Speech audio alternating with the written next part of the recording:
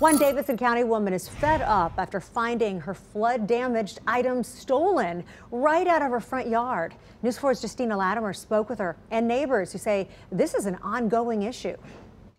What's on the curb isn't there for the taking. Terry Wakefield says she was following protocol.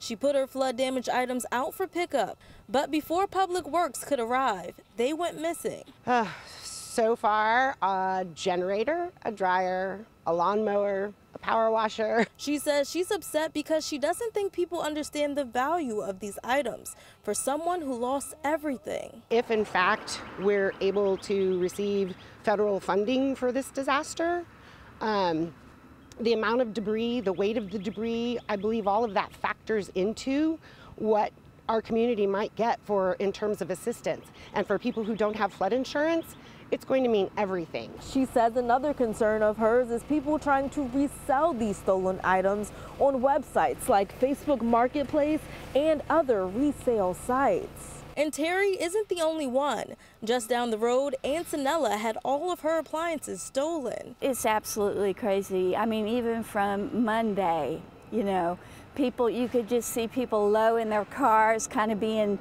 you know, sneaky looking and just kind of going through the neighborhood looking for stuff. Both ladies now asking people to be more courteous. Give us a chance to recover and let us go through our items before you do. In Davidson County, Justina Latimer, News 4 Nashville.